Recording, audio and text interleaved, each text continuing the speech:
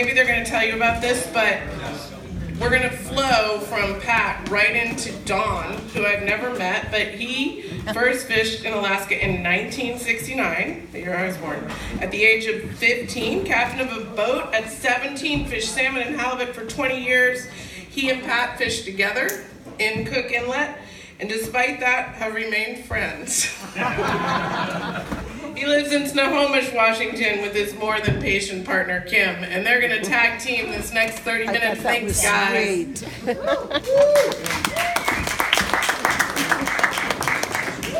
All right, well, Don is one of my very best friends. And I uh, was, I just recently had a piece uh, of fiction published by the Tishman Re- Review. And uh, it's, a, it's a piece called The Sinking. And it's about, it's, it, it's about a boat. and um, as a piece, it reads, it reads around 24 minutes. And so I was, I was thinking I would, I would read from it just because it's got published this month. And um, so I wanted to read it tonight, but I, I couldn't do it in 15 minutes. And so I, was, I called Don up and I said, well, what I'm thinking about doing is doing the beginning, this kind of the setup, and then, um, and, and then just getting to a good stopping point and saying, if you want to see hear the end, go to the TishmanReview.com. And I said, is that a shitty thing to do to an audience? and he didn't answer, but I knew the answer, you know, that it was. And instead, what he said, being my friend, how about I finish it? So we concocted this plan. So that's what's going to happen. I'll read it to one point, and then he'll come up and take it over from there. So, all right. Thanks, Don.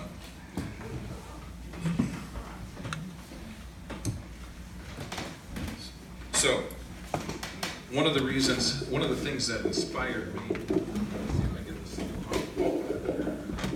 one of the things that inspired me to write this particular piece, which is not a piece that you hear, not the kind of piece you hear very often at Fisher Poets, was because of that very thing, is that we don't talk about stuff like this. And all too often, it isn't fiction, but this is. The sinking. The water reflected a calm, pale blue around the boat, sitting low at anchor in the first light of dawn. In the distance, a dark, darker stripe of cobalt, almost black, broke the smoothness where a breeze flowed off the mountainside on the far end of the bay. Seagulls floated past with the outgoing tide. On the vessel, there was no movement. All aboard were asleep. As the planet rolled from night to face the sun, the men, bay, and boat rode together inside a space like that between two giant breaths of things that had happened and what was to come. The boat, a 58 foot seiner rigged for longlining, with a reel full of gear and a plywood bait house aft, sat low in the water with a hold packed full of halibut and ice. The skipper and his four man crew had been catching fish for the past five days without a break. Tired and with the weather forecasted fair, the skipper and crew found the bay an inviting anchorage to catch a few hours' sleep before making the run home. They pulled in and dropped anchor, silhouetted against a dusky sky streaked with high cirrus clouds. The activity on board died down quickly. The last movement on deck, when the skinny deckhand rock walked barefoot to the stern, brushing his teeth with one hand and holding a coffee mug of water in the other. He held the toothbrush in his teeth and looked at the faint burn of pink on the horizon while he pulled the front of his sweatpants down with a thumb and took a leak over the side. Finished, he pulled up his pants and watched a fish jump in the distance. He took a moment longer before washing out his mouth and leaning over the transom to spit into the sea. He turned, shaking his toothbrush as he walked back into the cabin and closed the door. Hours passed. The crew slept. In the bowels of the engine room, a hose, leaking under the clamp that held it to a fitting that pulled seawater in from beneath the waterline, and overlooked and, and since the boat took to sea two weeks earlier, finally ruptured. The ocean poured freely into the bilge under the engine. A boat floats because it displaces more water than the vessel itself weighs. Once the weight of the vessel exceeds the displacement, it sinks. To prevent seawater from filling the seiner in the event of a leak, a pump with an automatic float switch was installed at the bottom of the bilge below the engine. The pump worked to empty the water from the boat, but was hard pressed to keep up with the incoming seawater. But keep up it did, and would have done so until the engineer discovered the problem in the morning and turned off the valve that fed the damaged hose. But the spray from the hose soaked a small rag hanging over a wire beside the engine. Once the rag absorbed the water, it slid off its perch and landed in the bilge. Wadded in the rag, a long strip of discarded electrical tape floated free. The pump was mounted to the hull inside a cracked debris guard that protected the impeller from potential obstructions. Loose in the mount, one side of the pump lifted above the guard as the impeller spun, moving 2,200 gallons of salt water an hour through the hole and into the sea.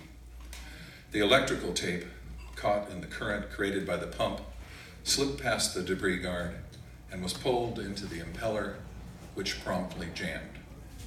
The pump made a gurgling sound as the water remaining in the hose drained back into the bilge. Unchecked, the water began to rise under the engine. Forward, in the forecastle, the top bunks were reserved for greenhorns. To port slept the skinny skipper's nephew on his first fishing trip. His expression in his sleep was the same as it had been for the past week the open mouthed look of someone who can't believe what he's seeing. Even with his eyes closed, his face looked surprised, like he was watching whales surface next to the boat, or reacting to the news that the crew was expected to work until the fish quit coming over the side or the hold got full. Sleep is what fishermen do in winter, the mate told him in, earlier in the voyage. The kid wasn't the type to ask questions, and he commented, commented even less on his shipmates' discussions and arguments. At 17, he only knew how little he knew. He slept the deep sleep of one who was overtired and overwhelmed, on his back, arms framing his head as if he had fallen there.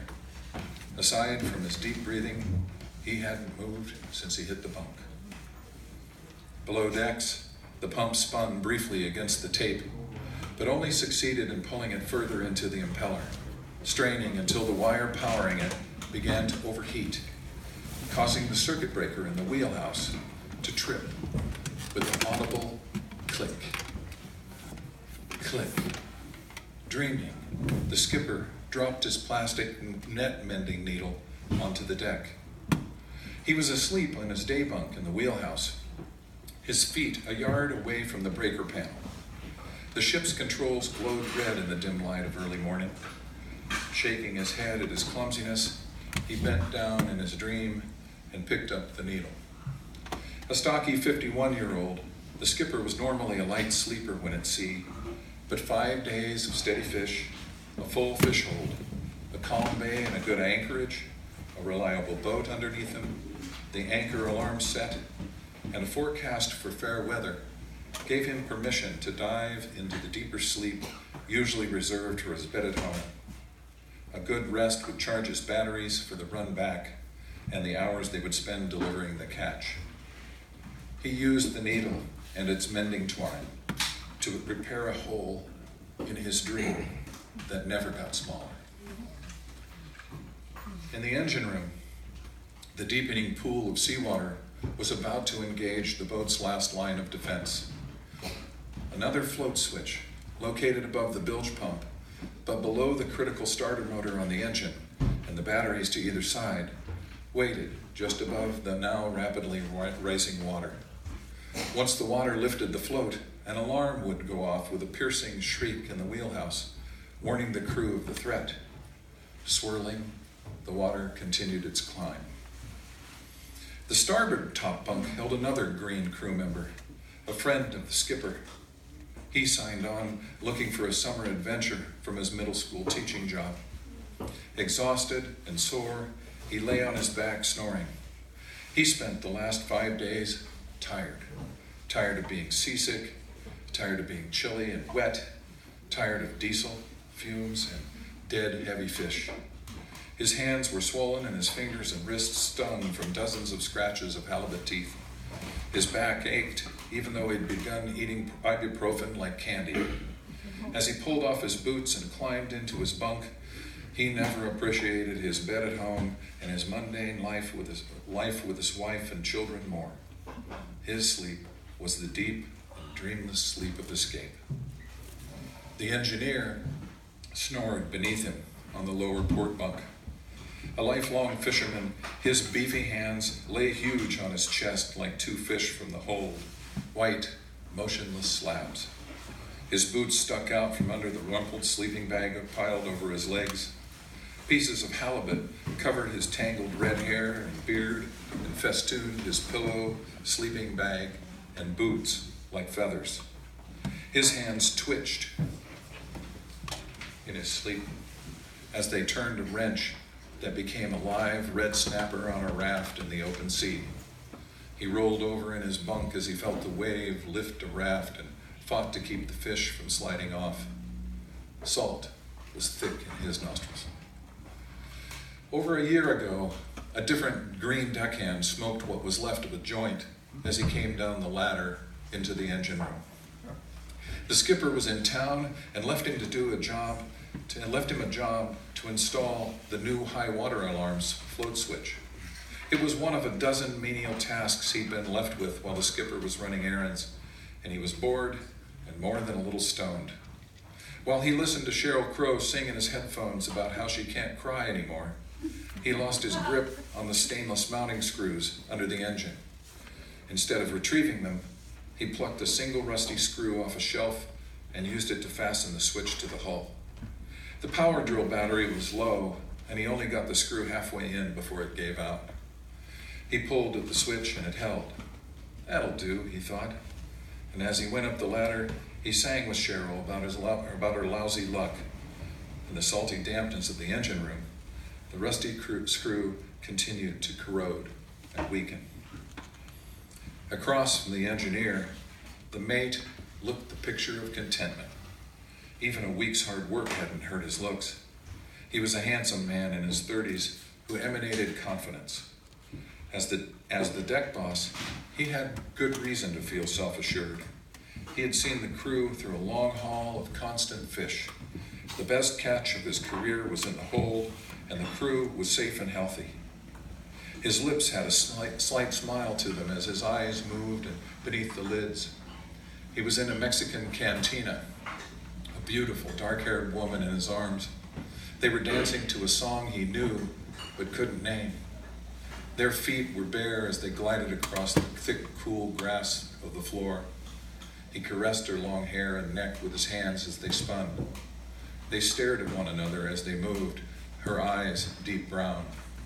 He stretched his desire upward on the bunk as they leaned together in his dream. Her lips parted. He may as well have been in a feather bed. He was so far removed from the ocean and the boat where he slept. As the water level reached the ruptured hose, the constant splashing that could have signaled a lightly sleeping crew was silenced. The force of the incoming flow created a current that swept over and lifted the high water alarm switch, pulling against the rusty screw until it snapped in two.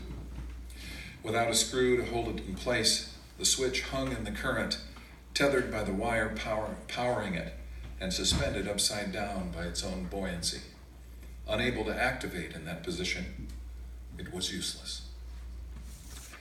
When the vessel dropped anchor in the bay with 43,000 pounds of halibut and ice already in the hold, her rounded hull settled nicely as the weight lowered her center of gravity.